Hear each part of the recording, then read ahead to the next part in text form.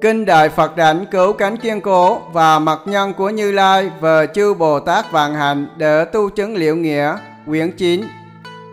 một Này Khánh Hỷ, có những người ở thế gian với tâm lắng trong, nhưng do bởi chẳng tu thiền định nên không có trí tuệ.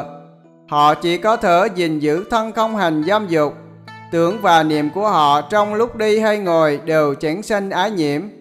Do đó họ sẽ không lưu lại ở cõi dục. Nếu như muốn, người ấy sẽ có thể sanh làm bạn lữ thanh tịnh. Hàng hữu tình như thế gọi là chư thiên ở trời phạm chúng. 2. Có những người đã đoạn trừ tập khí của ái dục và tâm lìa khỏi dục niệm. Đối với giới luật và uy nguy, họ yêu mến và tùy thuận. Người ấy có thể tu hành công đức thanh tịnh ở mọi lúc. Hàng hữu tình như thế gọi là chư thiên ở trời phạm phụ. 3. Có những người với thân tâm đã đạt đến vi diệu tròn đầy, uy nghi không khiếm khuyết, thanh tịnh giới cấm và lại còn hiểu biết thông suốt. Ở mọi lúc, người ấy có thể thống lãnh phạm chúng và trở thành đại phạm vương. Hàng hữu tình như thế gọi là chư thiên ở trời đại phạm. Này Khánh Hỷ, chư thiên ở ba cõi trời thù thánh ái đều lìa khỏi bức hại của tất cả khổ não. Mặc dù không tu thiền định chân chánh, nhưng trong tâm của họ thanh tịnh và chẳng dao động bởi các lầu. Đây là chư thiên ở cảnh thiền thứ nhất. 4. Này Khánh Hỷ, ở trên chư thiên thống nhiếp phạm chúng ở cõi phạm thiên, có chư thiên viên mãn tịnh hạnh, trừng tâm bất động và do tâm tịch tỉnh thâm sâu mà có ánh sáng phóng ra. Hàng hữu tình như thế gọi là chư thiên ở trời thiếu quang năm Cỡ đến có chư thiên với quang minh chiếu soi lẫn nhau, chiếu sáng vô tận, ánh hiện cội giới của mình đến mười phương và biến nó thành lưu ly. Hàng hữu tình như thế gọi là chư thiên ở trời vô lượng quang. 6. Cỡ đến có chư thiên hấp thu với trì giữ ánh sáng tròn đầy và họ đã thành tựu bản thở chỉ dạy về việc ấy. Họ có thể phát ra quang minh thanh tịnh để ứng đáp vô tận. Hàng hữu tình như thế gọi là chư thiên ở trời quan âm. Này Khánh Hỷ, chư thiên ở ba cõi trời thù thánh ái đều lìa khỏi bức hại của tất cả âu lo. Mặc dù không tu thiền định chân chánh, nhưng trong tâm của họ thanh tịnh và đã hàng phục các lầu thô kệch. Đây là chư thiên ở cảnh thiền thứ nhì. 7. Này Khánh Hỷ, khi chư thiên như thế đã thành tựu ánh sáng tròn đầy như một phương tiện giao tiếp, giờ đây sự vi diệu của phương tiện ấy đã hiển lộ. Họ thanh lọc sự tu tập này cho đến khi tâm khai thông đến an vui của tịch diệt. Hàng hữu tình như thế gọi là chư thiên ở trời thiểu tịnh. 8. Tiếp đến họ trải nghiệm một cảnh giới của thanh tịnh và rỗng không hiện tiền, rồi nó mở rộng vô biên tớ Thân tâm của họ khinh an và thành tựu an vui của tịch diệt. Hàng hữu tình như thế gọi là chư thiên ở trời vô lượng tịnh. 9. Khi thế giới cùng thân tâm thấy đều thanh tịnh viên mãn và tịnh đức thành tựu, một cảnh giới thù thắng hiện tiền và dẫn về an vui của tịch diệt. Hàng hữu tình như thế gọi là chư thiên ở trời biến tịnh. Này Khánh Hỷ, chư thiên ở ba cõi trời thù thánh ái đầy đủ sự tùy thuận to lớn, thân tâm an ổn và được vô lượng an vui. Mặc dù không tu thiền định chân chánh, nhưng trong tâm của họ an ổn và tràn ngập hoan hỷ. Đây là chư thiên ở cảnh thiền thứ ba. 10. Này Khánh Hỷ, lại có chư thiên không còn bị thân tâm bức bách và nhân của khổ đã tận trừ. Họ nhận biết điều vui sướng trên cõi trời sẽ chẳng thường trụ và không lâu tất phải hoại diệt. Cho nên họ mau chóng đồng thời xá bỏ cả tâm khổ lẫn vui. Do họ đã chấm dứt các lầu thô cờ thâm trọng nên tánh của phước đức thanh tịnh liền sanh ra. Hàng hữu tình như thế gọi là chư thiên ở trời phước sanh. 11. Một khi đã xả tâm khổ và vui, họ được thắng giải thanh tịnh. Ở trong trạng thái của phước đức vô tận, họ được sự tùy thuận vi diệu cho đến tận cùng mãi mãi. Hàng hữu tình như thế gọi là chư thiên ở trời phước ái. Này Khánh Hỷ, từ cõi trời đó sẽ làm hai đường. 12.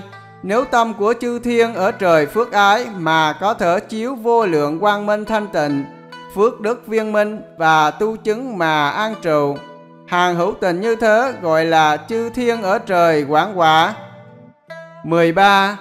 Còn như trước đó, nếu tâm của chư thiên ở trời phước ái mà chán ghét cả khổ lẫn vui và liên tục nghiên cứu phương pháp xả tâm chẳng ngừng, khi đã hiểu cùng tận phương pháp xả tâm, thân tâm đều diệt và ý tư lượng ngưng động như tro suốt 500 kiếp. Do bởi người ấy đã dùng tâm sinh diệt làm nhân, nên chẳng thể phát huy tánh không sanh không diệt. Tưởng của họ diệt mất từ kiếp thứ nhất cho đến nửa kiếp đầu của kiếp thứ 500. Nửa kiếp sau của kiếp thứ 500 thì tưởng của họ sanh trở lại. Hàng hữu tình như thế gọi là chư thiên ở trời vô tưởng.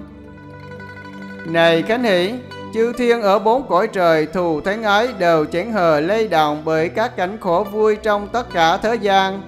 Tuy nhiên, do họ không tu tập nương vào tâm vô vi chân thật bất động nên vẫn có tâm sở đắc. Đây là chư thiên ở cảnh thiền thứ tư. Này Khánh Hỷ, ở trong cảnh thiền đó lại có năm cõi trời tịnh cư. Chư thiên ở những cõi trời ấy đều đã trừ sạch chín thở loại tập khí trong hạ giới. Đến giai đoạn này thì khổ vui đều quên. Chư thiên nơi đây sẽ không bao giờ còn sống ở tầng trời thấp hơn. Họ cùng sống một nơi an bình và mỗi vị đều ngang bằng ở mức độ xã tâm. 14.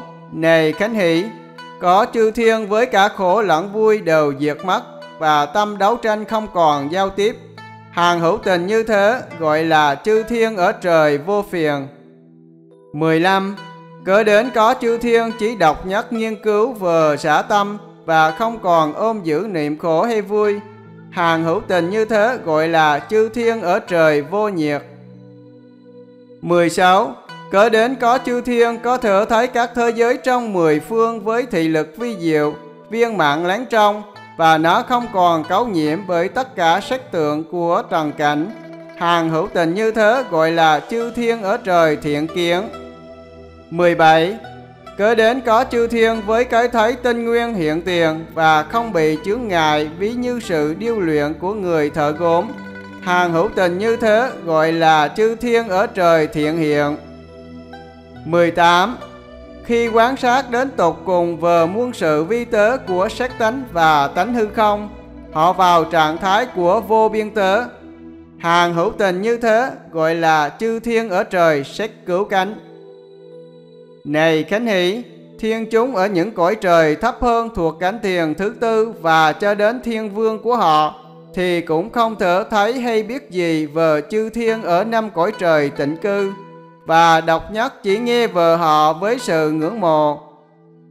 Đây ví như hàng phàm phu trên thế gian đều chẳng thể thấy các vị ứng chân đang ở trong khoáng giả thâm sơn để trụ pháp và trì pháp nơi thánh địa đạo tràng của họ.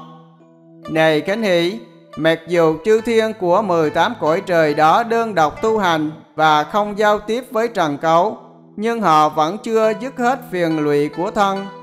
Do đó các tầng trời ấy gọi là cõi xét. Lại nữa Khánh Hỷ, từ trời xét cứu cánh là tầng trời nằm ở ranh giới trên cùng của cõi xét. Nơi đây lại rẽ làm hai đường nếu chư thiên ở tầng trời ấy tu hành xả tâm mà phát huy trí minh và được tụa quan viên thông, thì liền ra khỏi trần lao, trở thành bậc ứng chân và vào Bồ Tát Thừa. Hàng hữu tình như thế gọi là những vị đại ứng chân hồi tâm hướng về Đại Thừa. một Còn nếu chư thiên ở tầng trời ấy tu hành xả tâm thành tựu mà nhận biết thân là chướng ngại cho sự tiên tiến, họ làm cho thân tiêu mất và trở thành như hư không. Hàng hữu tình như thế gọi là chư thiên ở không vô biên xứ.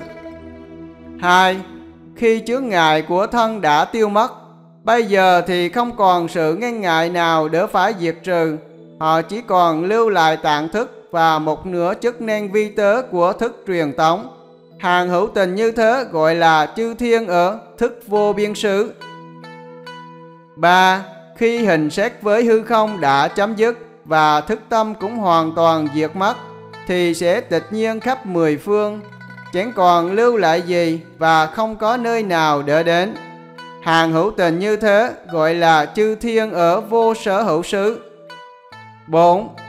Khi tạng thức không còn hoạt động, họ dùng sự việc này để nghiên cứu tận cùng. Ở trong vô tận của thức đó, tận tánh phát huy, thức đó dường như tồn tại mà chẳng tồn tại, dường như tận mà chẳng phải tận. Hàng hữu tình như thế gọi là chư thiên ở phi tưởng phi phi tưởng xứ. Tuy chư thiên ở những cõi trời này đã quán sát tận cùng vờ không của thức, nhưng họ chẳng hiểu cùng tận vờ lý của không. Đây là sự chấm dứt của con đường thánh nhân mà đã dẫn đến từ năm cõi trời tịnh cư. Hàng hữu tình như thế gọi là những ám đồn ứng chân chẳng hồi tâm hướng về đại thừa. Chư thiên ở trời vô tưởng và chư thiên ở những tầng trời không theo chánh đạo họ sẽ chẳng quay trở lại từ sự quán sát tận cùng vờ không của thức. Do bởi si mơ, thiếu hiểu biết và vẫn còn hữu lậu nên cuối cùng thì cũng sẽ rơi vào vòng luân chuyển.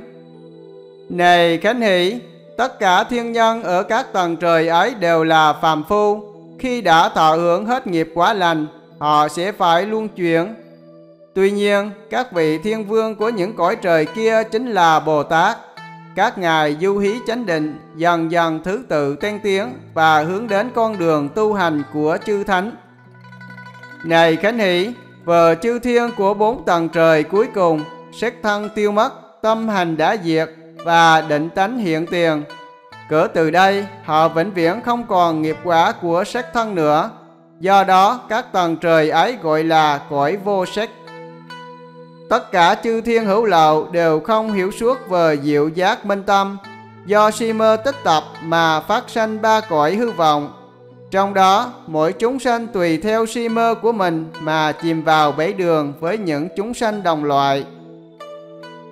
Lại nữa Khánh Hỷ, ở trong ba cõi lại có bốn loại phi thiên. Một, có những phi thiên ở loài quỷ, chúng dốc sức hộ pháp và có thần thông bay trên không, Hàng phi thiên này sinh ra từ trứng và thuộc về quỷ đạo. hai Có những phi thiên do vì phước đức không đủ nên phải rơi khỏi thiên thượng và chúng sống ở phía dưới mặt trời mặt trăng. Hàng phi thiên này sinh ra từ bào thai và thuộc về nhân gian. 3. Có những phi thiên vương thống lãnh thế giới, mãnh lực vô úy và có thể tranh quyền với Phạm Vương, Ninh Thiên Đế và Tứ Đại Thiên Vương Hàng phi thiên này sinh ra từ biến hóa và thuộc về cõi trời. 4. Này kinh Hỷ, có một loại phi thiên thấp kém khác. Chúng sinh ra tại những hang nước sâu ở giữa biển cả. Ban ngày chúng bay trên không và khi tối đến thì trở về bổn xứ ở dưới nước. Hàng phi thiên này sinh ra từ ấm ướt và thuộc về bàn xanh. Này Khánh Hỷ, đây là những lời giảng giải tường tận về bảy đường, gồm có địa ngục, ngạ quỷ, bàn sanh, người, thần tiên, trời và phi thiên. Tất cả đều hôn muội và chìm đắm trong các tướng hữu vi, do si mơ mà họ sinh ra và chuyển theo nghiệp vọng tưởng của mình. Tuy nhiên, ở trong bốn tâm vô vi nhiệm màu viên minh, các đường này đều tựa như hoa đốm giữa hư không, Chúng vốn không chỗ dính mắt, chẳng có trụ sở và hoàn toàn chỉ là hư vọng. Này Khánh Hỷ, do các chúng sanh đó không nhận biết bổn tâm nên phải thọ luân hồi đến vô lượng kiếp mà chẳng được thanh tịnh chân thật. Tất cả đều do tùy thuận sát sanh, trộm cắp và tà dâm. Nếu vi phạm sát sanh, trộm cắp và tà dâm, họ sẽ sanh vào quỷ đạo nếu không phạm ba giới kia, họ sẽ sanh lên trời. Vì những chúng sanh ấy cứ ngã nghiêng giữa phạm giới và giữ giới nên phát khởi tánh luân hồi. Nếu ai vào được chánh định này thì sẽ trụ trong tịch diệt thường hành vi diệu. Họ lìa khỏi nhị biên của có và không và vô nhị biên cũng diệt mất. Họ đã vượt khỏi không sát sanh, không trộm cắp và không tà dâm Huống nữa là tùy thuận việc sát sanh, trộm cắp và tà dâm hay sao? Này Khánh Hỷ, những ai chán đoạn trừ ba nghiệp đó thì sẽ tự tạo nghiệp của chính mình. Mặc dù quả báo của mỗi chúng sanh là của bản thân, nhưng họ sẽ cùng trải qua với những chúng sanh đồng quả báo ở một nơi nhất định. Nghiệp của họ phát sanh từ si mơ, do nó hư vọng sanh ra nên chẳng có nhân và sẽ không thể nào tìm thấy nhân của nó. Ông hãy khuyên những ai tu hành mà muốn được giác ngộ thì phải đoạn trừ ba việc si mơ. Nếu chẳng đoạn trừ ba việc si mơ, cho dù họ được thần thông nhưng đó đều là hữu vi của thế gian và phải dùng công sức. Nếu không diệt trừ tập khí, họ sẽ lạc vào ma đạo. Cho dù họ muốn diệt trừ si mơ đi nữa, nhưng nếu không diệt trừ tập khí thì chỉ gia tăng hư ngụy như Lai nói rằng những chúng sanh như thế thật quả đáng thương. Ông nên biết rằng si mơ của mình là do tự mình tạo ra, chứ chẳng phải lỗi của tánh giác ngộ. Những gì được giảng ở đây là chánh giáo, nếu giảng sai khác thì tức là lời của ma vương. Bấy giờ Như Lai sắp rời pháp tòa, từ tòa sư tử đứng dậy, Thế Tôn đặt bàn tay lên cái bàn bảy báo ở trước mặt, sau đó, Ngài xoay chuyển thân mình như hòn núi vàng tím rồi lại ngồi xuống. Khi ấy Đức Phật bảo toàn thể đại chúng và Ngài khánh hỷ rằng Hàng hữu học các ông cùng thanh văn và duyên giác. Hôm nay đã hồi tâm hướng về đại giác là vô thượng diệu giác.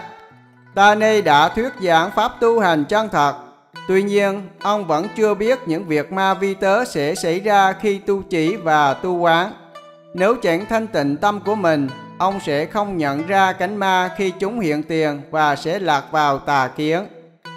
Ma có thể khởi sanh từ năm uẩn ở bên trong của ông, hoặc ông sẽ bị thiên ma, quỷ thần hay yêu tinh đến nhập. Nếu trong tâm của ông chẳng rõ khi xảy ra, ông sẽ nhận việc làm con, hoặc ông thành tựu một chút mà cho là đủ. Đây ví như vị biết su chẳng học hỏi kia chỉ mới đạt đến cảnh thiền thứ tư mà vọng ngôn cho rằng mình đã chứng thánh quả. Khi phước báo ở cõi trời đã hết và các tướng suy hiện tiền, do hủy bán rèn người đét đạo ứng chân mà còn vướng hữu lậu vừa sau, nên vị biết su kia liền đọa địa ngục vô gián. Ông hãy lắng nghe, ta nay sẽ giải thích tường tận cho ông.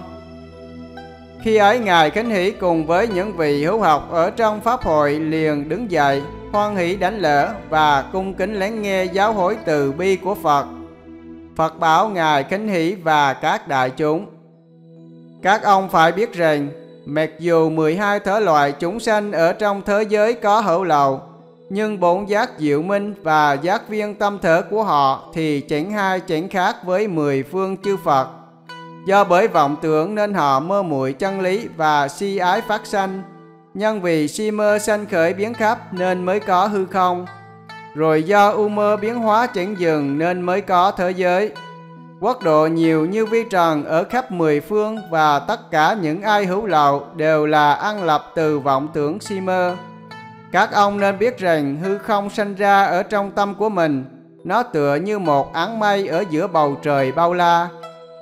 Huống chi là các thế giới ở tại hư không thì càng nhỏ bé hơn. Nếu các ông tìm ra chân thật và trở về nguồn cội, bấy giờ hư không khắp mười phương tất đều tiêu vong. Thế thì làm sao hết thảy quốc độ ở trong hư không mà chẳng chấn động chứ? Khi tu thiền và vào chánh định, tịnh tâm của các ông khai thông với tâm của chư Bồ Tát và những vị đại ứng chân vô lậu ở trong mười phương. Lúc đó ông sẽ trụ ở nơi trạm nhiên thanh tịnh. Bấy giờ tất cả ma vương cùng với quỷ thần và hàng trời phàm phu đều thấy cung điện của mình vô cớ sụp đổ và đại địa chấn động. Động vật bơi trong nước, đi trên đất hoặc bay giữa trời, không một loài nào mà chẳng kinh hoàng. Còn hạng phạm phu bị che trùm bởi hôn ám thì chẳng hờ hay biết gì về những sự kiện này. Có chúng ma đầy đủ năm loại thần thông, duy trừ lậu tận thông vì chúng vẫn còn lưu luyến trần lao Thế thì làm sao có thể để cho ông phá hủy chỗ ở của chúng đây? Cho nên các thiên ma, quỷ thần và yêu tinh quỷ quái đều sẽ đến não loạn khi ông vào chánh định. Mặc dù chúng ma kia nổi cơn thịnh nộ, nhưng chúng chỉ là trần lao khi ông trụ ở trong diệu giác. Chúng sẽ như gió thổi ánh sáng, như dao chém vào nước và vĩnh viễn không tờ tiếp xúc. Ông sẽ như nước sôi và chúng ví như tảng băng. Khi hơi nóng đến gần, băng đá sẽ tiêu tan. Chúng cậy nương vào thần lực để có thể tạm ghé thăm ông một lát. Chúng chỉ có thể thành công não loạn khi trong tâm của ông là chủ nhân của năm uẩn, nhưng lại bị mơ muội nên du khách mới thừa cơ trục lợi. Khi trụ trong thiền định với giác ngộ minh liễu, làm sao những việc ma kia có thể ảnh hưởng đến ông chứ? Khi năm uẩn tiêu tan, ông sẽ vào ánh sáng của trí tuệ. Chúng tà ma kia đều nương âm khí và quang minh của ông có thể phá tan u ám. Nếu chúng đến gần thì sẽ tự hủy diệt. Thế thì làm sao chúng dám nắng lại để nhiễu loạn thiền định của ông chứ? Nhưng nếu chưa khai ngộ minh liễu và bị năm uẩn mơ hoặc, thì chính ông Khánh Hỷ chắc chắn sẽ làm con của ma và chính mình cũng trở thành ma.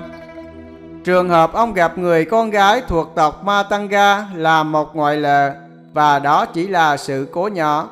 Cô ta chỉ dùng chú thuật để khiến ông phá hủy luật nghi của Phật. Trong 80.000 giới hạnh, cùng lắm ông chỉ phạm một giới. Do bởi tâm của ông thanh tịnh nên ông vẫn chưa đọa trầm luân. Tuy nhiên, nếu uẩn ma đã có thể hủy diệt báo giác toàn thân của ông, thì ông sẽ như thành viên trong gia đình của một đại thần. Tài sản bất chợt bị tịch thu, gia cảnh điêu tàn và không ai có thể cứu giúp. Này Khánh Hỷ, nên biết rằng mọi niệm sẽ tiêu vong khi ông ngồi đạo tràng. Khi vọng niệm của ông dừng hẳn, lúc đó sẽ chỉ còn lại giác minh tinh nguyên dao động ở ngồi tâm ông sẽ dường như tĩnh lặng và niệm hiện tại trong tâm ông sẽ dường như vô niệm. Khi trụ ở cảnh giới ấy, ông liền vào chánh định. Ông sẽ như người mét sáng ở nơi u ám. Lúc đó, tánh tinh nguyên của ông sẽ thanh tịnh vi diệu, nhưng tâm của ông thì vẫn chưa phát sáng. Đây gọi là đã tới khu vực của sắc uẩn. Khi tâm nhãn của ông trở nên trong sáng, mười phương mở toát và chẳng còn u ám. Đến giai đoạn này thì gọi là đạt đến chấm dứt của sắc uẩn. Người ấy sẽ có thể siêu xuất ô trượt của thời gian, quan sát nguyên do của sắc uẩn và thấy vọng tưởng kiên cố là căn bổn của nó. Một, này Khánh Hỷ, đương lúc ở tinh thần u ám, sự nghiên cứu tinh chuyên ở trong diệu minh của họ sẽ có thể hiển lộ ra rằng bốn đại cứu cánh chẳng đang siết với nhau. Chỉ một thoáng, người ấy có thể rời thân thể của mình. Cảnh hiện này gọi là giác minh tinh nguyên có thể tràn vào cảnh hiện ở trước. Đây là do sự dụng công của người ấy nên mới tạm thời được cảnh giới như thế. Đó không phải là dấu hiệu chứng thánh quả. Nếu ai chẳng khởi tâm đế quả vị của bậc thánh thì đó là cảnh giới tốt. Còn như cho rằng mình đã đắc quả vị của bậc thánh thì họ sẽ bị chúng tà ma nhiễu loạn. Hai, lại nữa khánh hỷ, đương lúc ở tinh thần u ám, sự nghiên cứu tinh chuyên ở trong diệu minh của họ sẽ có thể làm cho người ấy thấy rõ bên trong thân thể của mình. Hốt nhiên người ấy có thể bóc lấy những con dung ở trong bụng bỏ ra ngoài mà không hề tổn hại thân thể của mình lẫn ký sinh trùng. Cảnh hiện này gọi là giác minh tinh nguyên có thể tràn vào thân thể. Đây là do sự tinh tấn tu hành của người ấy nên mới tạm thời được cảnh giới như thế. Đó không phải là dấu hiệu chứng thánh quả. Nếu ai chẳng khởi tâm đắc quả vị của bậc thánh thì đó là cảnh giới tốt. Còn như cho rằng mình đã đắc quả vị của bậc thánh thì họ sẽ bị chúng tà ma nhiễu loạn. ba Lại nữa, Đương lúc ở tinh thần u ám, sự nghiên cứu tinh chuyên của họ sẽ có thể hướng ra cả trong lẫn ngoài. Bấy giờ hồn phách và ý chí tinh thần của người ấy có thể sẽ tách rời, kết hợp hoặc hoán đổi vai trò. Hốt nhiên giữa hư không, người ấy nghe có tiếng thuyết pháp hoặc nghe có âm thanh khắp mười phương đồng thời diễn nói mật nghĩa. Cảnh hiện này gọi là tinh thần cùng hồn phách lần lượt phân ly và kết hợp lẫn nhau do sự thành tựu căn lành. Đây chỉ là cảnh giới tạm thời, đó không phải là dấu hiệu chứng thánh quả. Nếu ai chẳng khởi tâm đắc quả vị của bậc thánh thì đó là cảnh giới tốt. Còn như cho rằng mình đã đắc quả vị của bậc thánh thì họ sẽ bị chúng tà ma nhiễu loạn. 4. Lại nữa, Đương lúc ở tinh thần u ám, một ánh sáng rực rỡ có thể sẽ hiện ra ở trong tâm của người ấy và chiếu soi khắp mười phương với màu sắc như vàng ở dưới sông tại châu Thánh Kim. Người ấy có thể sẽ thấy tất cả muôn loài hóa thành chư Như Lai. Bấy giờ người ấy hốt nhiên sẽ thấy Đức Phật quang minh biến chiếu đang ngồi ở trên đài thiên quang với một ngàn Đức Phật ở xung quanh. Mỗi vị Phật kia ngồi trên tòa hoa sen và sẽ đồng thời hiện ra một trăm ức quốc độ.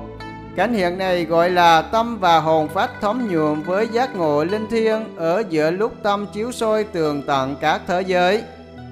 Đây chỉ là cảnh giới tạm thời, đó không phải là dấu hiệu chứng thánh quả. Nếu ai chẳng khởi tâm đắc quả vị của bậc thánh thì đó là cảnh giới tốt. Còn như cho rằng mình đã đắc quả vị của bậc thánh thì họ sẽ bị chúng tà ma nhiễu loạn. năm Lại nữa, đương lúc ở tinh thần u ám, sự quan sát và nghiên cứu tinh chuyên ở trong diệu minh của họ sẽ có thể tránh được đình chỉ. Khi người ấy cố gắng hàng phục và khống chế để nó không vượt mất kiểm soát, bây giờ hư không khắp mười phương hốt nhiên trở thành màu sắc của bảy báu hay màu sắc của trăm báu Mỗi màu sắc đó sẽ đồng thời trùm khắp hư không mà chẳng hờ ngang ngại lẫn nhau. Người ấy sẽ thấy rõ xanh vàng đỏ trắng với từng màu không xen tạp. Cảnh hiện này gọi là kiềm chế sự quan sát để không vượt mất kiểm soát. Đây chỉ là cảnh giới tạm thời, đó không phải là dấu hiệu chứng thánh quả. Nếu ai chẳng khởi tâm đắc quả vị của bậc thánh thì đó là cảnh giới tốt. Còn như cho rằng mình đã đắc quả vị của bậc thánh thì họ sẽ bị chúng tà ma nhiễu loạn. 6. Lại nữa, đương lúc ở tinh thần u ám, sự nghiên cứu thông triệt của họ sẽ có thể phóng ra một ánh sáng tinh thuần không tạp loạn. Hút nhiên ở trong căn phòng tối vào giữa đêm, họ có thể nhìn thấy muôn thứ đồ vật mà chẳng khác gì như giữa ban ngày. Những đồ vật mà dù ở ban ngày vẫn không thấy, nhưng giờ đây họ có thể sẽ thấy rõ ràng. Cảnh hiện này gọi là thanh lọc tâm nhãn để hiến lộ vật ẩn kín và thấy khắp nơi ưu quốc.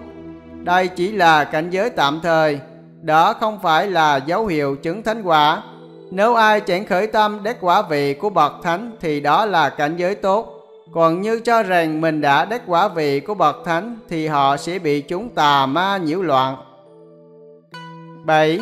Lại nữa, đương lúc ở tinh thần u ám những gì ở trong và những gì ở ngoài có thể sẽ hòa quyện vào nhau ở bên trong sự nhận biết của người ấy hốt nhiên người ấy cảm thấy chẳng còn cảm giác ở tứ chi của mình và nghĩ rằng chúng đồng như có cây cho dù bị lửa thiêu đau chém thì người ấy cũng hoàn toàn không cảm giác ngọn lửa chẳng thở thiêu đốt họ và cho dù thân thở bị xéo thịt thì người ấy chỉ cảm giác như vớt gỗ.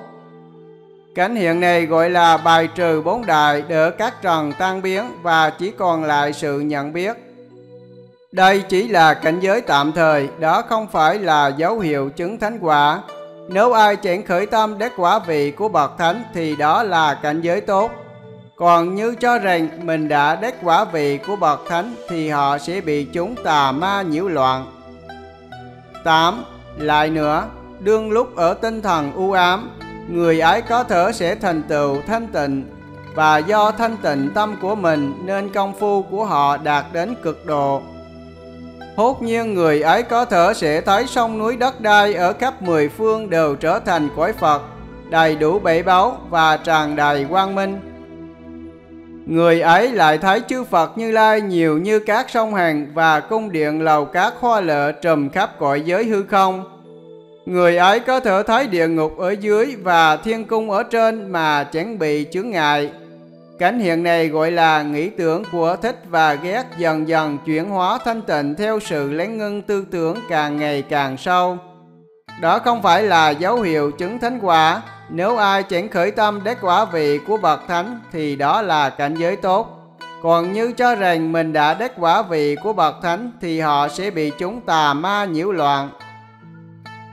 Chính lại nữa, đương lúc ở tinh thần u ám, người ấy có thể sẽ nghiên cứu về những nơi xa xôi. Hốt nhiên ở giữa đêm, người ấy có thể sẽ thấy chùa búa, giếng nước, ngã tư đường và ngõ hẻm từ xa. Người ấy có thể sẽ thấy thân tộc quyến thuộc, hoặc có thể nghe được họ trò chuyện. Cảnh hiện này gọi là tâm bị bức ép đến cực độ nên nó bay ra ngoài để thấy tầm nhìn mà đa phần bị ngăn cách. Đó không phải là dấu hiệu chứng thánh quả. Nếu ai chẳng khởi tâm đắc quả vị của bậc thánh thì đó là cảnh giới tốt. Còn như cho rằng mình đã đắc quả vị của bậc thánh thì họ sẽ bị chúng tà ma nhiễu loạn. 10. Lại nữa, đương lúc ở tinh thần u ám, người ấy có thể sẽ thấy mình là một vị thiện tri thức trong khi nghiên cứu tinh chuyên cực độ. Người ấy sẽ có thể biến đổi hình dáng trong chớp nhoáng và không ngừng thay đổi muôn loại hình thù. Cảnh hiện này gọi là lòng tà chiêu dụ yêu tinh hoặc bị thiên ma nhập tâm trí.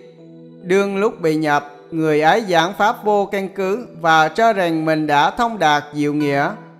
Đó không phải là dấu hiệu chứng thánh quả. Nếu ai chẳng khởi tâm đắc quả vị của bậc thánh thì đó là cảnh giới tốt. Còn như cho rằng mình đã đắc quả vị của bậc thánh thì họ sẽ bị chúng tà ma nhiễu loạn.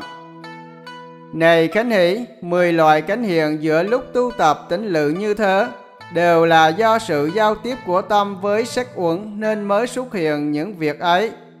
Do chúng sanh mơ muội và chẳng thở tự suy ngẫm chính xác nên khi gặp những trường hợp đó, họ sẽ mơ muội và chẳng thở tự nhận biết.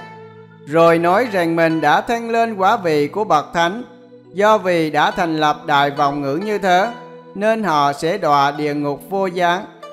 Sau khi ta diệt đồ, các ông phải tuyên giảng nghĩa này cho chúng sanh vào thời mạt Pháp và chớ đỡ thiên ma thừa cơ trục lợi. Hãy bảo hộ và che chở những vị tu hành để họ có thể thành tựu đạo vô thượng.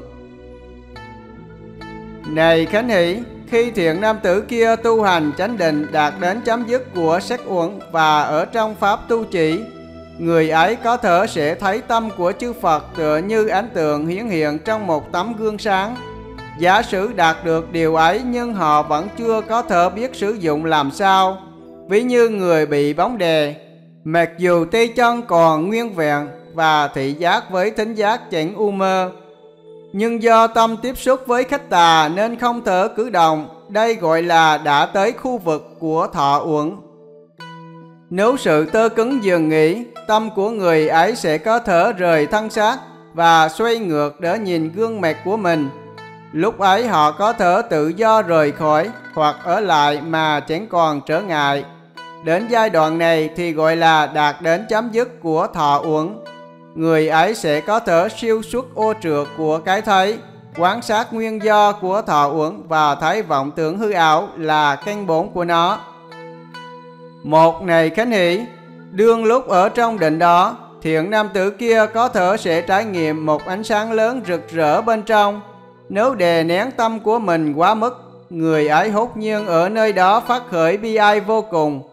Như vậy cho đến chỉ nhìn con ruồi con mũi mà họ cũng xem như con đầu lòng của mình, rồi sanh lòng thương xót và bất giác rơi lờ.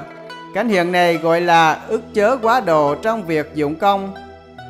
Nếu tỏ ngộ cảnh giới đó, họ sẽ không cho rằng mình đã chứng thánh quả, một khi hiểu rõ thì họ sẽ không mơ lầm và lâu dần thì nó cũng tự động tiêu tan. Còn như cho rằng mình đã đắc quả vị của bậc thánh thì ma bi ai sẽ nhập tâm trí của họ. Khi thấy người khác, họ cảm thấy buồn bã và khóc lóc thảm thiết. Do đã mất chánh định nên họ sẽ sa ngã từ đây. Hai lại nữa khánh hỷ. Đương lúc ở trong định đó, một khi đã thấy sắc uẩn tiêu tan thiện nam tử kia sẽ thấy rõ thọ uẩn xuất hiện. Với thánh tướng hiện tiền, người ấy có thể sẽ cảm kích quá mức. Hốt nhiên ở trong ấy, họ sanh khởi dũng cảm vô hạn và cho rằng tâm uy mãnh của mình ngang bằng với chư Phật. Người ấy bảo rằng một niệm của họ có thể siêu việt ba vô số kiếp. Cảnh hiện này gọi là hấp tấp quá độ trong việc dụng công. Nếu tỏ ngộ cảnh giới đó, họ sẽ không cho rằng mình đã chứng thánh quả. Một khi hiểu rõ thì họ sẽ không mơ lầm và lâu dần thì nó cũng tự động tiêu tan. Còn như cho rằng mình đã đắc quả vị của bậc thánh thì ma điên cuồng sẽ nhập tâm trí của họ. Khi thấy người khác, họ khoe khoang và ngã mạn vô cùng, cho đến tâm của người ấy còn chẳng thấy chư Phật ở trên và chẳng thấy phàm nhân ở dưới. Do đã mất chánh định nên họ sẽ xa ngã từ đây. 3. Lại nữa, đương lúc ở trong định đó, một khi đã thấy sách uẩn tiêu tan, thiện nam tử kia sẽ thấy rõ thọ uẩn xuất hiện. Người ấy có thở sẽ cảm thấy không có gì mới ở trước đỡ chứng đích và giữa khi ấy thì chẳng thở quay lại cảnh giới cũ. Do vậy trí lực suy kém, rồi cõi lòng đi vào chốn điêu tàn và nhìn xa xăm chẳng thấy gì. Trong tâm của họ bỗng nhiên sanh khởi sự khô khan và khao khát dữ dội. Ở tất cả mọi lúc, người ấy chìm vào nỗi nhớ không phai. Người ấy sẽ cho rằng đó là tướng trạng của tinh tấn chuyên cần. Cảnh hiện này gọi là tự mình thất bại trong việc tu tâm thiếu trí tuệ. Nếu tỏ ngộ cảnh giới đó, họ sẽ không cho rằng mình đã chứng thánh quả. Còn như cho rằng mình đã đắc quả vị của bậc thánh, thì ma ký ức sẽ nhập tâm trí của họ. Từ sáng đến tối, sự nhung nhớ ấy càng siết buộc tâm trí và làm cho họ chẳng thở buông xả. Do đã mất chánh định nên họ sẽ xa ngã từ đây. 4. Lại nữa, đương lúc ở trong định đó, một khi đã thấy sắc uẩn tiêu tan, thiện nam tử kia sẽ thấy rõ thọ uẩn xuất hiện. Người ấy có thể sẽ phát triển tùa lực trội hơn thiền định nên kết quả là họ sẽ có thể mất đi sự dũng cảm.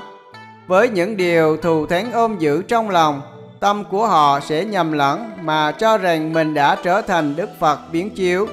Sự thật thì người ấy chỉ được một chút mà cho là đủ.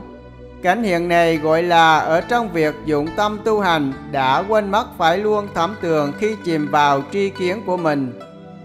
Nếu tỏ ngộ cảnh giới đó, họ sẽ không cho rằng mình đã chứng thánh quả. Còn như cho rằng mình đã đắc quả vị của bậc thánh, thì sẽ có loại ma dễ dàng với thành quả hạ liệt nhập tâm trí của họ. Khi thấy người khác, họ sẽ nói rằng mình đã được chân lý cứu cánh vô thượng. Do đã mất chánh định nên họ sẽ xa ngã từ đây. năm Lại nữa, đương lúc ở trong định đó, một khi đã thấy sắc uẩn tiêu tan, thiện nam tử kia sẽ thấy rõ thọ uẩn xuất hiện. Người ấy có thể sẽ cảm thấy chưa chứng đắc điều gì mới và giữa khi ấy thì chẳng thể quay lại cảnh giới cũ. Khi nhìn lại cảnh giới ở sau và hướng đến cảnh giới ở trước, họ tự mình sanh khởi gian nan nguy hiểm, rồi hốt nhiên sanh ưu lo vô cùng. Người ấy cảm thấy như ngồi trên giường sách hoặc như uống thuốc độc. Với tâm trí chẳng muốn sống, họ luôn van xin người khác hãy giết hại tánh mạng của mình để có thể sớm giải thoát. Cảnh hiện này gọi là đánh mất phương tiện trong việc tu hành. Nếu tỏ ngộ cảnh giới đó, họ sẽ không cho rằng mình đã chứng thánh quả, còn như cho rằng mình đã đắc quả vị của bậc thánh thì sẽ có loại ma thường ưu sầu nhập tâm trí của họ. Người ấy có thể sẽ cầm lấy dao hoặc kiếm đỡ tự cắt thịt của mình và vui vẻ xả bỏ mạng sống. Hoặc họ có thể sẽ luôn ưu sầu rồi bỏ chạy vào núi rừng vì không thể chịu nổi khi thấy người khác. Do đã mất chánh định nên họ sẽ xa ngã từ đây. 6. Lại nữa, đương lúc ở trong định đó, một khi đã thấy sắc uẩn tiêu tan, thiện nam tử kia sẽ thấy rõ thọ uẩn xuất hiện người ấy có thể sẽ ở trong trạng thái thanh tịnh và tâm được an ổn. Sau đó bỗng dưng tự nhiên có một niềm vui vô hạn nảy sinh và trong lòng của họ hân hoan đến nỗi chẳng thể tự kiềm chế. Cảnh hiện này gọi là được tâm khinh an nhưng thiếu trí tuệ để tự kiềm chế. Nếu tỏ ngộ cảnh giới đó, họ sẽ không cho rằng mình đã chứng thánh quả còn như cho rằng mình đã đắc quả vị của bậc thánh thì sẽ có loại ma ưa thích vui sướng nhập tâm trí của họ. Họ sẽ cười khi trông thấy người khác tự động ca múa ở giữa ngã tư đường và tự cho mình đã được giải thoát vô ngại. Do đã mất chánh định nên họ sẽ xa ngã từ đây. 7. Lại nữa, đương lúc ở trong định đó, một khi đã thấy sắc uẩn tiêu tan, thiện nam tử kia sẽ thấy rõ thọ uẩn xuất hiện. Người ấy có thể sẽ tự cho rằng mình đã tu tập đủ rồi. Hốt nhiên vô cớ họ giấy khởi đại ngã mạng. Như vậy cho đến mạng, quá mạng, mạng quá mạng, tên thượng mạng, ti liệt mạng và tà mạng. Những cảm xúc này đồng thời phát khởi và trong lòng còn khinh cả mười phương như lai. Hào huống là các bậc thánh ở quả vị thấp hơn như là thanh văn và duyên giác. Cảnh hiện này gọi là thấy mình tháng trội và thiếu trí tuệ để tự cứu mình ra khỏi cái thấy đó. Nếu tỏ ngộ cảnh giới đó, họ sẽ không cho rằng mình đã chứng thánh quả còn như cho rằng mình đã đắc quả vị của bậc thánh thì sẽ có loại ma đại ngã mạng nhập tâm trí của họ. Người ấy sẽ phá hủy kinh tượng và chấn lửa kính chùa tháp. Họ nói với các vị thí chủ rằng mấy pho tượng được làm từ vàng, đồng, đất hoặc gỗ mà thôi. Kinh chỉ viết trên lá cây hoặc lớp vải, thân máu thịt mới là chân thật vĩnh hằng nhưng các ngươi lại không cung phụng nó mà lại đi sùng bái gỗ đất. Đó thật là điên đạo. Những ai tin sâu lời nói của họ nên sẽ ùa theo mà hủy hoại kinh tượng và chôn bỏ dưới đất. Cái đó sẽ làm cho mọi người ngờ vực hiếu sai rồi dẫn chúng sanh vào địa ngục vô gián. Do đã mất chánh định nên họ sẽ xa ngã từ đây. 8. Lại nữa, đương lúc ở trong định đó, một khi đã thấy sắc uẩn tiêu tan, thiện nam tử kia sẽ thấy rõ thọ uẩn xuất hiện.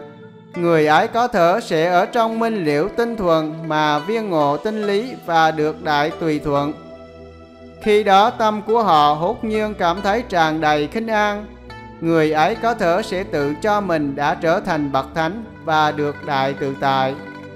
Cảnh hiện này gọi là nhân bởi trí tuệ mà được khinh an và thanh thản. Nếu tỏ ngộ cảnh giới đó, họ sẽ không cho rằng mình đã chứng thánh quả, còn như cho rằng mình đã đắc quả vị của bậc thánh, thì sẽ có loại ma ưa thích an nhàn nhập tâm trí của họ. Người ấy sẽ cho rằng mình đã tu quá đủ và không cầu tên tiếng thêm nữa. Hành vi của họ phần nhiều sẽ như những vị biết sư không chịu học hỏi, Kẻ đó sẽ làm cho mọi người ngờ vực hiểu sai rồi dẫn chúng sanh vào địa ngục vô gián. Do đã mất chánh định nên họ sẽ xa ngã từ đây. Chính lại nữa, đương lúc ở trong định đó, một khi đã thấy sắc uẩn tiêu tan, thiện nam tử kia sẽ thấy rõ thọ uống xuất hiện. Ở trong sự tó ngộ sáng suốt của họ, một hiểu biết hư ảo có thể sẽ sanh ra Hốt nhiên ở trong đó, người ấy xu hướng về đoạn diệt vĩnh hằng, rồi bác bỏ không nhân quả và nhắc hướng vào tư tưởng chẳng có gì cả. Khi ấy tư tưởng chẳng có gì hết hiện tiền và cho đến tâm của họ nảy sinh lý giải, rằng sau khi chết thì vĩnh viễn đoạn diệt. Cảnh hiện này gọi là định tâm chìm đắm nên mất đi sự nhận thức đúng đắn. Nếu tỏ ngộ cảnh giới đó, họ sẽ không cho rằng mình đã chứng thánh quả. Còn nếu cho rằng mình đã đắc quả vị của bậc thánh thì sẽ có loại ma cho rằng không có gì hết nhập tâm trí của họ. Thậm chí người ấy sẽ hủy bán việc giữ giới mà gọi đó là Pháp nhị thừa.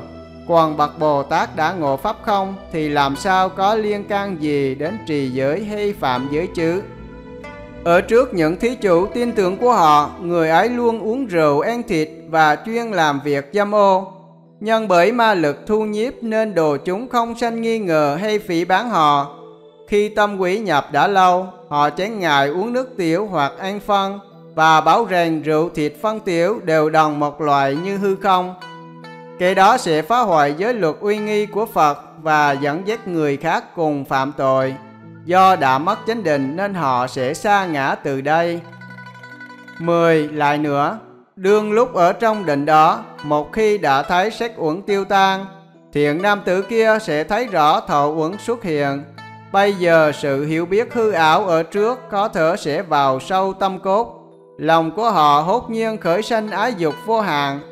Khi sự ham muốn dâm dục đến cực điểm thì họ có thể sẽ phát cuồng. Cảnh hiện này gọi là trạng thái an định thuận ý nhập tâm và thiếu trí tuệ để tự hộ trì nên nhầm lẫn mà xa vào tham dục. Nếu tỏ ngộ cảnh giới đó, họ sẽ không cho rằng mình đã chứng thánh quả, còn như cho rằng mình đã đắc quả vị của bậc thánh thì sẽ có loại ma tham dục nhập tâm trí của họ kẻ đó sẽ thường xuyên nói về tham dục chính là đạo Bồ Tát, rồi dạy những cư sĩ tùy tiện hành dục và những ai hành dâm sẽ gọi là đệ tử trì pháp. Do phàm phu ngu mơ dễ bị thu nhiếp bởi ma lực của quỷ thần ở vào thời mạt pháp, người ấy sẽ có thể thu nhiếp 100 hoặc cho đến 200 hoặc 500, 600, 1000 hay 10000 tín đồ. Khi thiên ma nhập tâm trí của người ấy sanh lòng chán nản, nó sẽ rời khỏi thân xác của họ Bây giờ uy đức của họ tiêu vong và sẽ vướng vào vòng luật pháp. Cái đó sẽ làm cho mọi người ngờ vực hiểu sai rồi dẫn chúng sanh vào địa ngục vô gián. Do đã mất chánh định nên họ sẽ xa ngã từ đây. Này Khánh Hỷ, 10 loại cảnh hiện giữa lúc tu tập tĩnh lự như thế đều là do sự giao tiếp của tâm với thọ uẩn nên mới xuất hiện những việc ấy. Do chúng sanh mơ muội và chán thở tự suy ngẫm chính xác nên khi gặp những trường hợp đó, họ sẽ mơ muội và chán thở tự nhận biết, rồi nói rằng mình đã thanh lên quả vị của bậc thánh. Do vì đã thành lập đại vọng ngữ như thế nên họ sẽ đọa địa ngục vô gián. Sau khi ta diệt đồ các ông phải mang lời của Như Lai để truyền dạy vào thời mạt Pháp hầu khiến cho tất cả chúng sanh hiểu rõ nghĩa này và chớ đỡ thiên ma thừa cơ trục lợi. Hãy bảo hộ và che chở những vị tu hành để họ có thể thành tựu đạo vô thượng. Này Khánh Hỷ, khi thiện nam tử kia tu hành chánh định đạt đến chấm dứt của thọ uẩn, tuy chưa đoạn hết các lầu nhưng người ấy có thể rời thân thể của mình như chim sổ lòng từ thân phàm đó, họ đã có khả năng đỡ thanh lên 60 thánh vị của Bồ Tát, thành tựu ý sanh thân và tùy ý đến đi mà không bị ngăn ngại.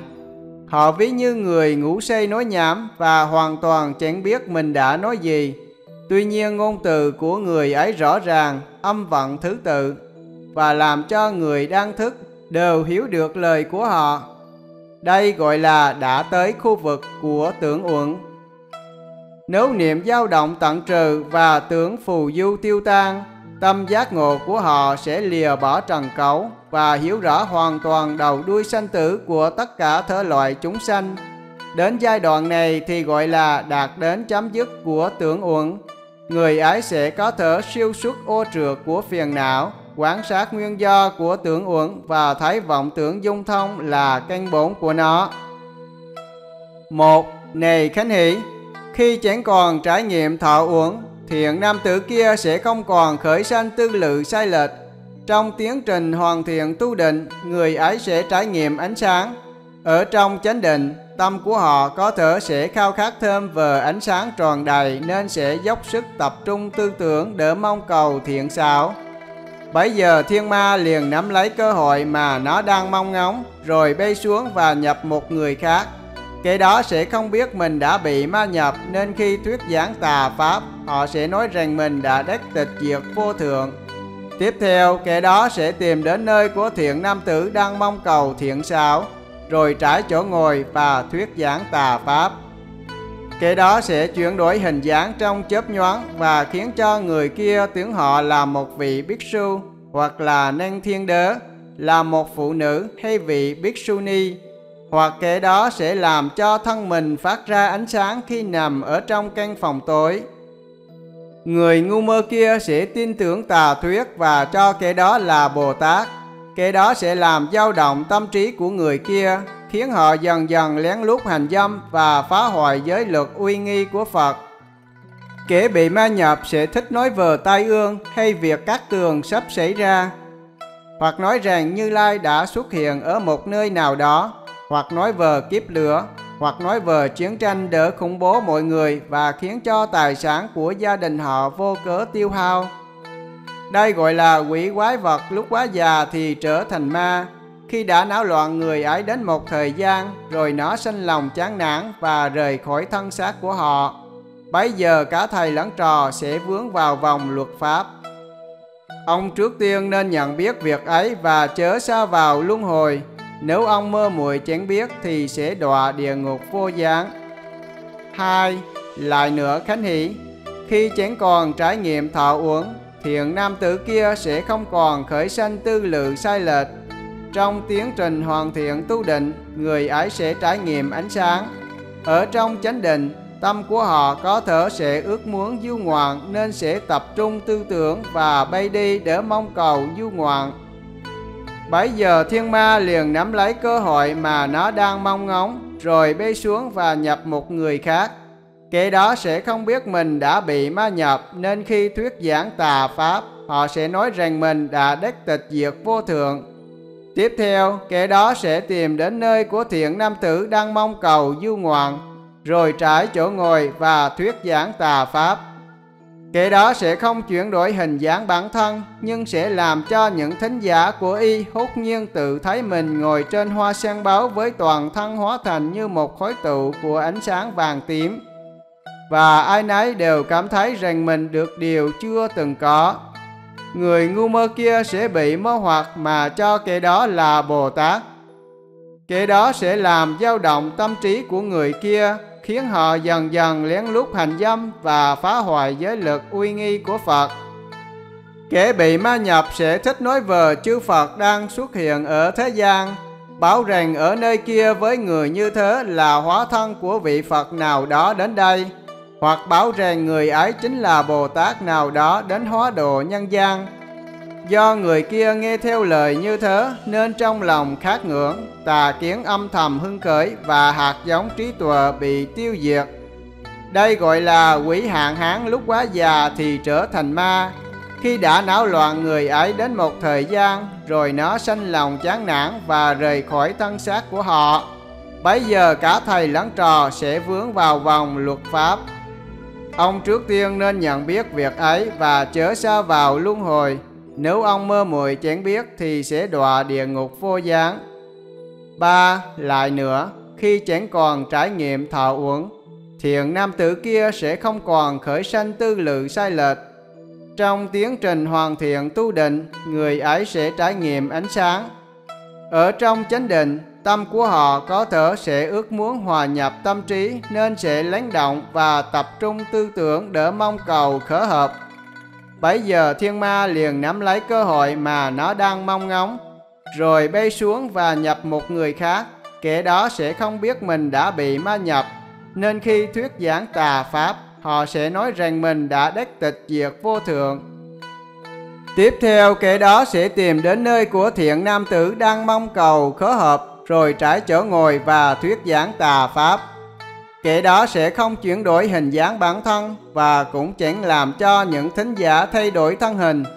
Tuy nhiên, trước khi bắt đầu nghe tà pháp, y sẽ làm cho những thính giả niệm niệm đối dời và làm cho họ cảm giác rằng mình đã khai ngộ, hoặc làm cho họ biết được chuyện đời trước, hoặc làm cho họ biết tâm niệm của người khác, hoặc làm cho họ thấy địa ngục, hoặc làm cho họ biết được những việc tốt xấu ở nhân gian, hoặc làm cho họ có thể tụng kinh hay đọc cờ từ trí nhớ. Tất cả họ sẽ vui sướng và cảm thấy rằng mình được điều chưa từng có. Người ngu mơ kia sẽ bị mơ hoặc mà cho kẻ đó là Bồ Tát.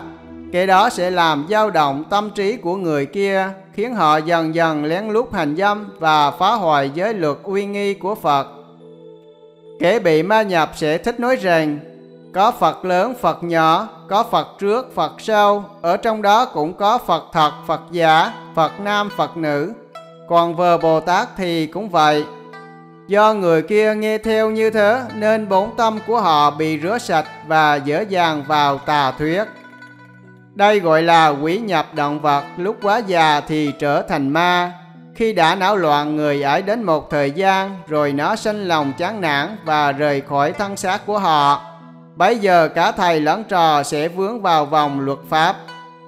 Ông trước tiên nên nhận biết việc ấy và chớ xa vào luân hồi. Nếu ông mơ muội chán biết thì sẽ đọa địa ngục vô gián. 4. Lại nữa, khi chẳng còn trải nghiệm thọ uống, thiện nam tử kia sẽ không còn khởi sanh tư lự sai lệch. Trong tiến trình hoàn thiện tu định, người ấy sẽ trải nghiệm ánh sáng. Ở trong chánh định, tâm của họ có thể sẽ yêu thích sự hiểu biết của căn bổn. Do đó họ sẽ nghiên cứu tường tận về tánh biến hóa của vạn vật từ đầu đến cuối và làm cho tâm sáng suốt để mong cầu giảng giải phân tích. Bấy giờ thiên ma liền nắm lấy cơ hội mà nó đang mong ngóng, rồi bay xuống và nhập một người khác. Kẻ đó sẽ không biết mình đã bị ma nhập nên khi thuyết giảng tà pháp, họ sẽ nói rằng mình đã đắc tịch diệt vô thường. Tiếp theo, kẻ đó sẽ tìm đến nơi của thiện nam tử đang mong cầu sự hiểu biết của bổn nguyên, rồi trải chỗ ngồi và thuyết giảng tà pháp. Kẻ đó sẽ có uy thần xung quanh để có thể tồi phục những ai cầu được gặp. Cho dù trước khi thuyết giảng, y cũng có thể làm cho tâm trí của đồ chúng ở dưới tự nhiên quy phục. Y sẽ báo mọi người rằng, Pháp thân tịch diệt giác ngộ của Phật chính là nhục thân hiện tại của ta bây giờ.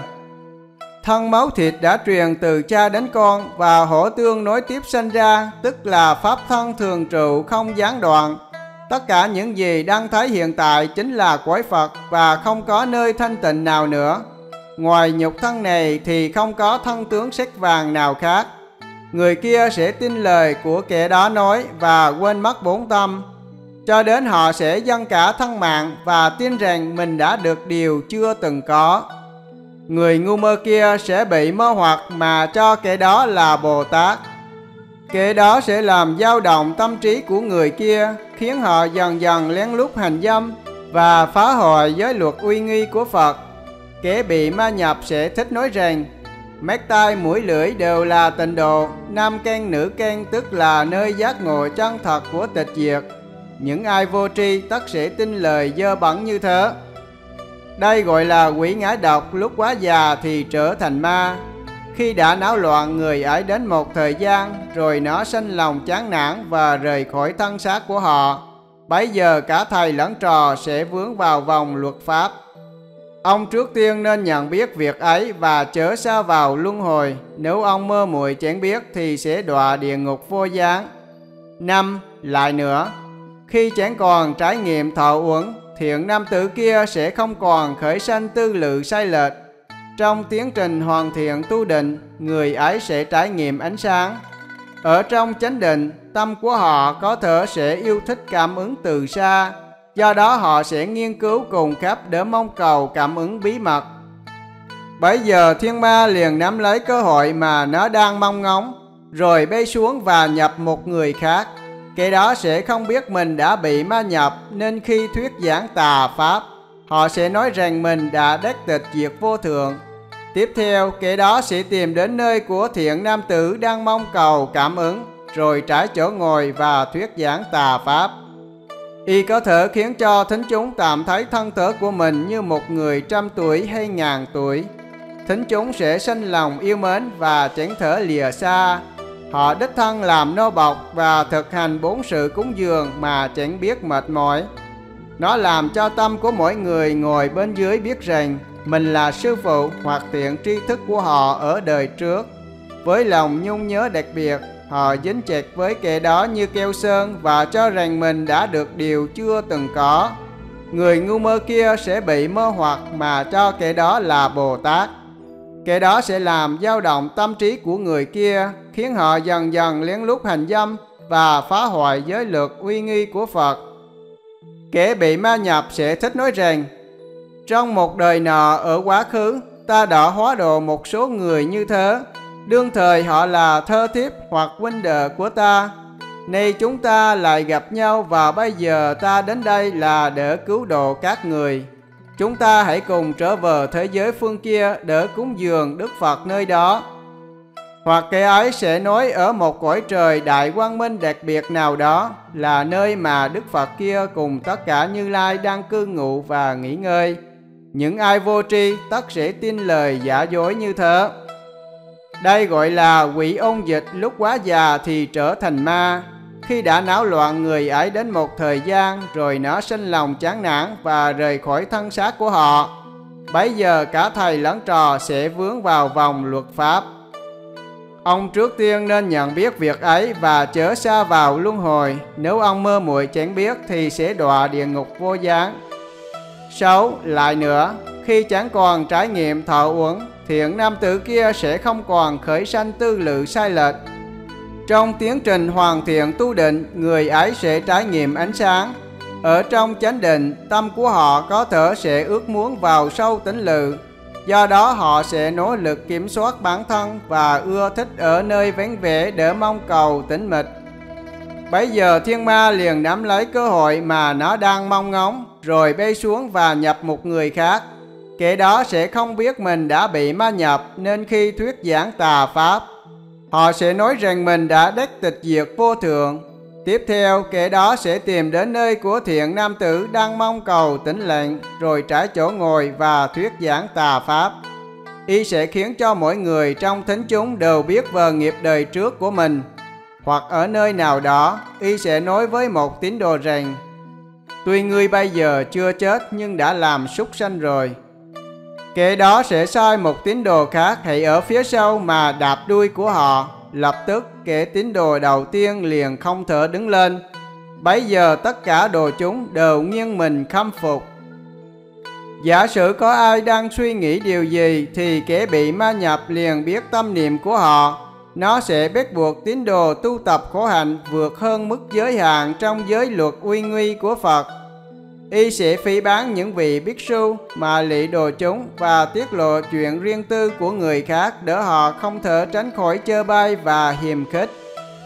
Kẻ đó rất thích tiên đoán những việc họa phước sắp xảy ra và khi đến thời điểm thì mỗi chi tiết của sự việc đều chỉnh sai lệch. Đây gọi là quỷ đại lực lúc quá già thì trở thành ma, khi đã náo loạn người ấy đến một thời gian rồi nó sanh lòng chán nản và rời khỏi thân xác của họ. Bây giờ cả thầy lẫn trò sẽ vướng vào vòng luật pháp. Ông trước tiên nên nhận biết việc ấy và chớ xa vào luân hồi. Nếu ông mơ muội chẳng biết thì sẽ đọa địa ngục vô gián. Bảy lại nữa, khi chẳng còn trải nghiệm thọ uẩn, thiện nam tử kia sẽ không còn khởi sanh tư lự sai lệch trong tiến trình hoàn thiện tu định, người ấy sẽ trải nghiệm ánh sáng. Ở trong chánh định, tâm của họ có thể sẽ ước muốn tri kiến.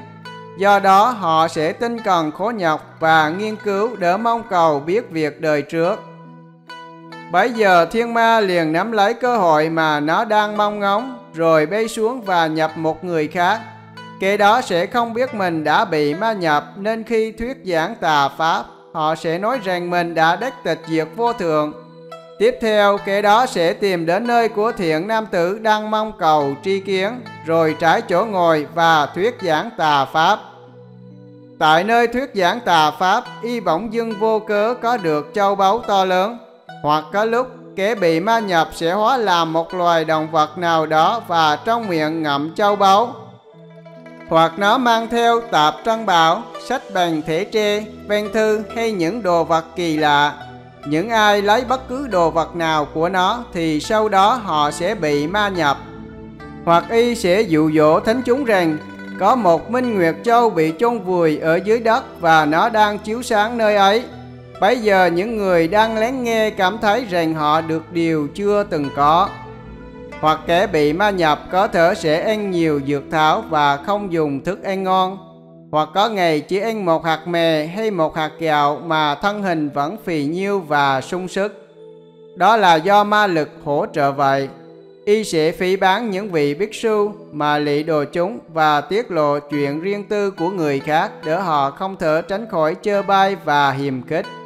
Nó sẽ thích nói rằng có bảo tàng ở phương khác hoặc nói rằng có chư thánh hiền trong mười phương đang cư ngụ nơi bí mật kia và những ai đi theo kẻ đó thì đều thấy có những kỳ nhân dị sĩ như vậy đây gọi là quỷ thần ở núi rừng ở đất đai, ở thành quách, ở dòng nước hay ở đỉnh núi và lúc quá già thì trở thành ma. Hoặc kẻ bị ma nhập có thể sẽ ủng hộ việc hành dâm là phá hoại giới luật của Phật. Nhưng trong khi đó, chính mình và những người thừa sự thì lén lút say đắm trong năm dục. Hoặc kẻ bị ma nhập có thể sẽ rất tinh tấn và chỉ an toàn cỏ cây, nhưng lại không tu tập thiền định. Khi đã náo loạn người ấy đến một thời gian, rồi nó sanh lòng chán nản và rời khỏi thân xác của họ, Bây giờ cả thầy lẫn trò sẽ vướng vào vòng luật pháp. Ông trước tiên nên nhận biết việc ấy và chớ xa vào luân hồi. Nếu ông mơ muội chẳng biết thì sẽ đọa địa ngục vô gián. 8. Lại nữa, khi chẳng còn trải nghiệm thọ uống, thiện nam tử kia sẽ không còn khởi sanh tư lự sai lệch. Trong tiến trình hoàn thiện tu định, người ấy sẽ trải nghiệm ánh sáng. Ở trong chánh định, tâm của họ có thể sẽ ước muốn đủ mọi thần thông biến hóa. Do đó họ sẽ nghiên cứu căn nguyên của biến hóa để mong cầu thần lực. Bấy giờ thiên ma liền nắm lấy cơ hội mà nó đang mong ngóng, rồi bay xuống và nhập một người khác. Kẻ đó sẽ không biết mình đã bị ma nhập nên khi thuyết giảng tà pháp, họ sẽ nói rằng mình đã đắc tịch diệt vô thường Tiếp theo, kẻ đó sẽ tìm đến nơi của thiện nam tử đang mong cầu thần thông rồi trải chỗ ngồi và thuyết giảng tà pháp. Hoặc kẻ bị ma nhập có thể sẽ cầm lửa ở trong tay, rồi bóc ngọn lửa đó và phân phát nó lên trên đầu của mỗi người trong thính chúng. Những ngọn lửa ở trên đầu của mỗi người trong thính chúng đều cháy cao vài thước nhưng chúng hoàn toàn không nóng và cũng chẳng làm ai bị phỏng hoặc kẻ bị ma nhập có thể sẽ đi trên nước như đi trên đất, hoặc ngồi bất động ở giữa hư không, hoặc vào trong bình, vào trong túi, hay xuyên qua cửa sổ và tường vách mà chẳng hờ bị chướng ngại. Chỉ trừ binh khí thì không được tự tại. Y sẽ nói rằng mình là Phật, mặc áo của cư sĩ và nhận lỡ kính của những vị biết su. Nó sẽ phỉ bán thiền định và giới luật mạ lị đồ chúng và tiết lộ chuyện riêng tư của người khác để họ không thể tránh khỏi chơ bay và hiềm khích. Y sẽ luôn nói về thần thông tự tại hoặc lại khiến những người xung quanh thấy được cõi Phật, nhưng đó không phải là chân thật mà chỉ là quý lực mơ hoặc mọi người. Kẻ đó sẽ ca ngợi hành dâm, Chẳng những không chỉ trích việc làm thô ác đó mà nó còn mang việc bắn thiểu này để sử dụng vào mục đích truyền tà pháp của y. Đây gọi là đại lực yêu tinh lúc quá già thì trở thành ma. Chúng có thể là sơn tinh của trời đất, yêu tinh của biển, yêu tinh của gió, yêu tinh của sông, yêu tinh của đất, yêu tinh của rừng do hấp thu linh khí của cỏ cây từ nhiều kiếp hoặc là có loài rồng hay tiên nhân mạng chung rồi sống lại để trở thành yêu tinh, hoặc là có tiên nhân đã hết thọ mạng và đáng lẽ phải chết, nhưng thân hình chẳng thay đổi và bị loài yêu quái khác nhập. Khi đã náo loạn người ấy đến một thời gian, rồi nó sanh lòng chán nản và rời khỏi thân xác của họ. Bấy giờ cả thầy lẫn trò sẽ vướng vào vòng luật pháp. Ông trước tiên nên nhận biết việc ấy và chớ xa vào luân hồi. Nếu ông mơ muội chẳng biết thì sẽ đọa địa ngục vô gián. Chính lại nữa, khi chẳng còn trải nghiệm thọ uống, thiện nam tử kia sẽ không còn khởi sanh tư lự sai lệch. Trong tiến trình hoàn thiện tu định, người ấy sẽ trải nghiệm ánh sáng. Ở trong chánh định, tâm của họ có thể sẽ ước muốn vào diệt độ Do đó họ sẽ nghiên cứu tánh biến hóa của tâm để mong cầu cảnh không thâm sâu. Bây giờ thiên ma liền nắm lấy cơ hội mà nó đang mong ngóng rồi bay xuống và nhập một người khác. Kẻ đó sẽ không biết mình đã bị ma nhập nên khi thuyết giảng tà pháp, họ sẽ nói rằng mình đã đắc tịch diệt vô thượng. Tiếp theo, kẻ đó sẽ tìm đến nơi của thiện nam tử đang mong cầu cảnh không, rồi trải chỗ ngồi và thuyết giảng tà pháp. Ở giữa đông đảo đồ chúng, kẻ bị ma nhập có thể sẽ hút nhiên biến mất mà chẳng một ai thấy đâu hết. Rồi đột nhiên lại xuất hiện ở trong hư không, ẩn tàng và xuất hiện tự tại. Hoặc nó làm cho thân thể của mình hiện ra xuyên suốt như lưu ly. Hoặc nó chỉ lét tay chân của mình thì có mùi thơm hương đàn tỏa ra. hoặc nó làm cho nước tiểu và phân của mình ngọt liệm như đường mật. Y sẽ phỉ bán giới luật, khinh miệt bậc xuất gia và luôn nói không nhân quả. Nó bảo rằng một khi đã chết thì vĩnh viễn diệt mất và chẳng còn thân ở đời sau. Nó chẳng phân biệt thánh nhân hay phàm phu. Tuy tâm có thể trải nghiệm cảnh không, nhưng kẻ đó sẽ lén lút tham đắm dục lạc. Những đối tượng dục lạc của y cũng trải nghiệm cảnh không và họ cũng bác bỏ nhân quả.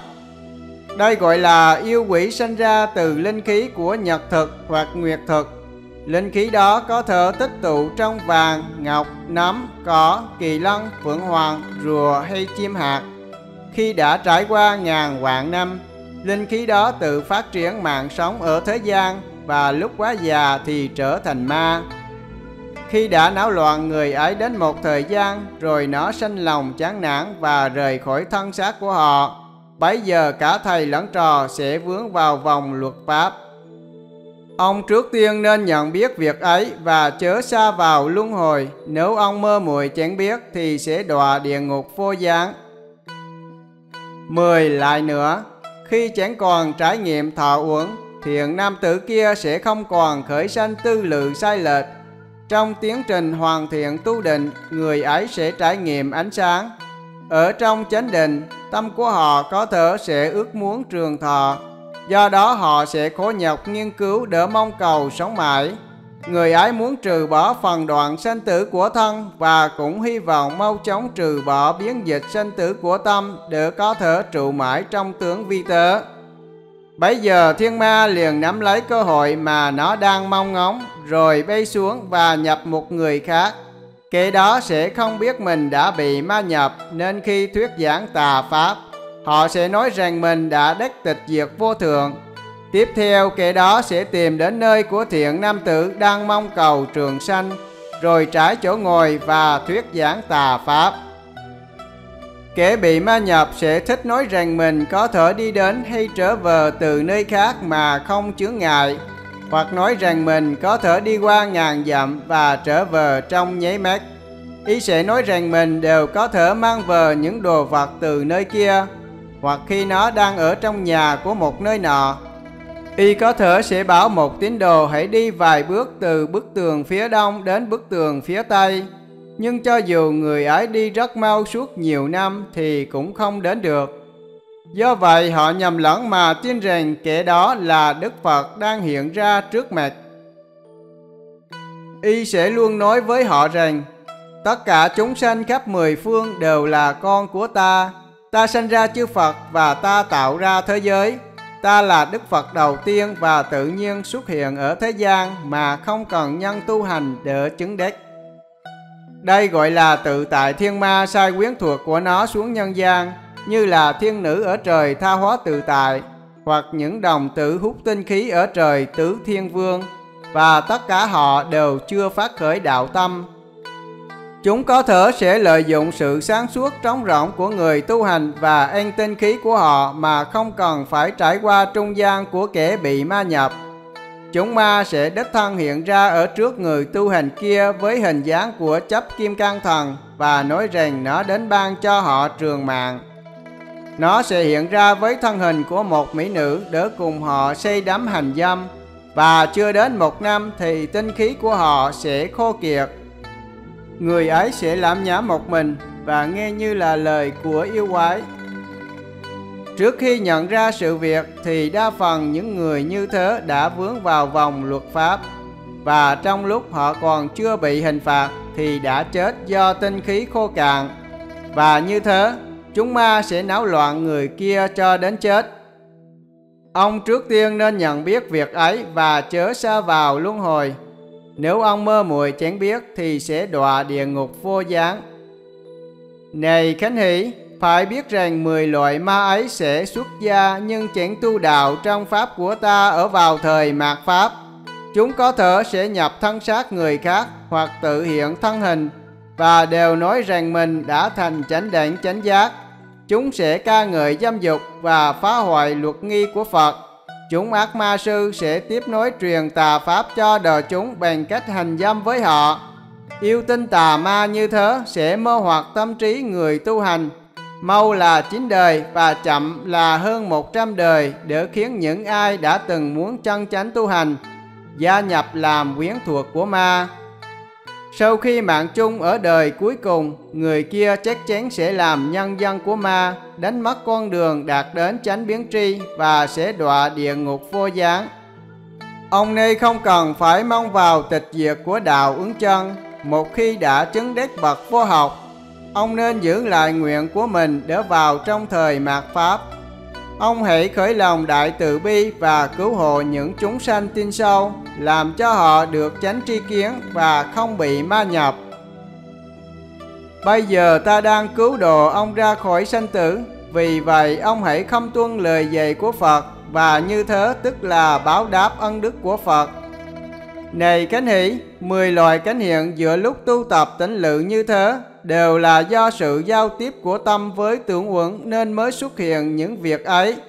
Do chúng sanh mơ muội và chẳng thể tự suy ngẫm chính xác, nên khi gặp những trường hợp đó, họ sẽ mơ muội và chán thở tự nhận biết, rồi nói rằng mình đã thăng lên quả vị của bậc thánh. Do vì đã thành lập đại vọng ngữ như thế, nên họ sẽ đọa địa ngục vô gián. Sau khi ta diệt đồ, các ông phải mang lời của Như Lai để truyền dạy vào thời mạt Pháp, hầu khiến cho tất cả chúng sanh khai ngộ nghĩa này và chớ đỡ thiên ma thừa cơ trục lợi. Hãy bảo hộ và che chở những vị tu hành để họ có thể thành tựu đạo vô thượng. Kinh Đại Phật Đảnh cứu cánh kiên cố và mật nhân của Như Lai về chư Bồ Tát vạn hạnh để tu chứng liệu nghĩa. Hết quyển 9